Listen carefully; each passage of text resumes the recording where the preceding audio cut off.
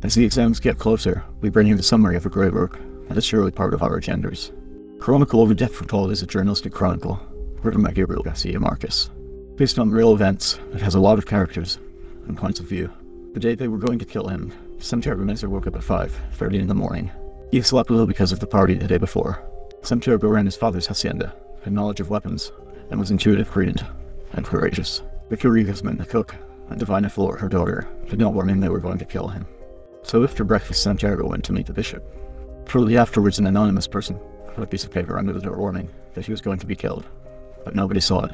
At the time, only Clotilde Armenta's terrier was open. And the twins Pedro and Pablo Vicario were waiting, who were resting after three days of partying. Instinctively awakened when Santiago passed by the plaza, Clotilde asked him to wait for the bishop to leave. The bishop's boat passed by. My girl Margot was with Santiago, but after saying goodbye, she found out that the Vicario brothers wanted to kill him, because Angela Vicario was not a virgin when she married because of him. Bayardo San Roman, the husband of Angela Vicario, was a mysterious foreigner of 30 years. He fell in love with her and asked her to marry him. It was a massive wedding. After it ended, Bayardo San Roman appeared at the house of Pura Vicario, the mother of the bride. Then he brought Angela up to the light, who was wearing her shredded nightgown. Bayardo gave the girl back to her mother. She beat her up. When the brothers arrived, they asked who was guilty of her disgrace. She replied that Santiago Nasar. The brothers took the knives and went to the market to sharpen them. They decided to wait for him at Armenta's dairy. The news reached the colonel, who went to the dairy. He took the knives from the brothers and left without questioning them. Unsurprisingly, the brothers went in search of other knives and returned to the dairy.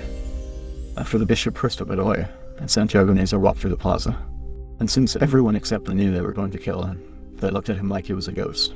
When Santiago was no longer with Cristo, they told him about the plans of the Vicar brothers. Cristo ran to look for his friend at his house, but he was not there. He kept looking for him on the streets, but no one had seen him. He met the Vicario brothers, who told him they were going to kill his friend. With this threat, he ran to look for him. It turns out that Santiago had gone to his girlfriend's house, Flora Miguel, who had learned of the disgrace of her fiancé. She broke up with Santiago, but he did not understand why. Instead of staying home, he decided to go to his mom's to hide there. Going out, he was confused as everyone was yelling at him. When he saw the brothers from afar, he ran towards his house. Minutes before, his mother had closed the door because Divina Flor had told her that Santiago was inside. For just a few seconds, he didn't get to the door. The brothers caught him and began stabbing him.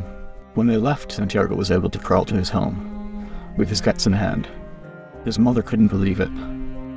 Afterwards, a rudimentary autopsy was performed and the body was publicly exposed.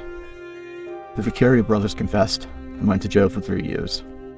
They did not feel guilty as it was a matter of honor. Prudencia Cotes married Pablo, who inherited the father's workshop. Pedro rejoined the armed forces, and one day his patrol disappeared. Bayardo disappeared for 23 years, until he showed up at Angela Vicario's house with a suitcase full of unopened letters that she had sent him every week. The investigation found no evidence that Santiago was guilty, and that's it for the Draw My Life of Chronicle of the Death Foretold.